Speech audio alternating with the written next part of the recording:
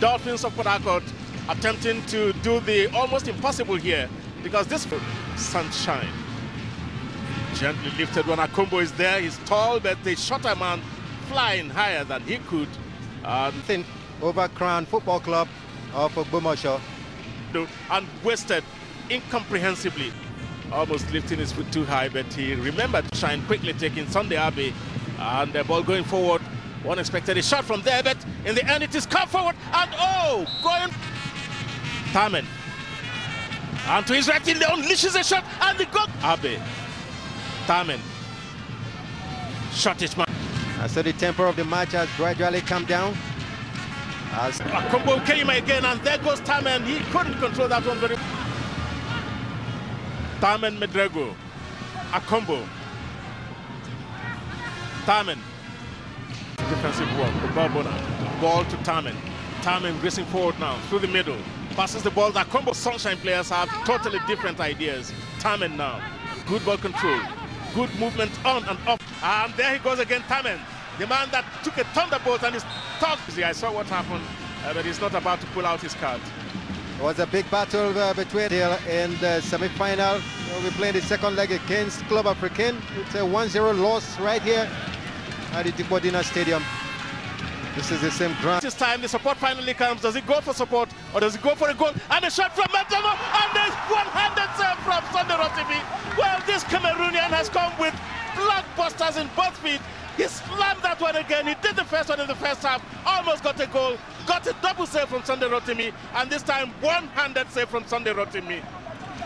And this time it came from Itodo, who took away the man that time, made a good pass, and bang, it came again from that man, Medrano Tamen, the Cameroonian.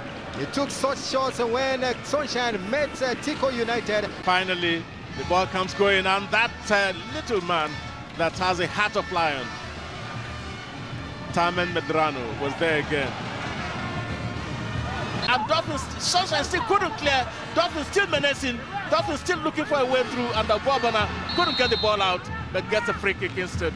Uh, his, uh, he might watch his foot.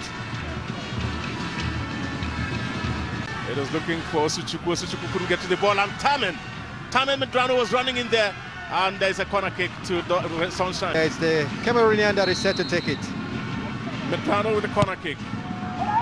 But oh, the team is just getting inside it. And another shot coming. A scotcher. And oh, goal! Goal number three for moment because how can they get back into this one? 3-1 down.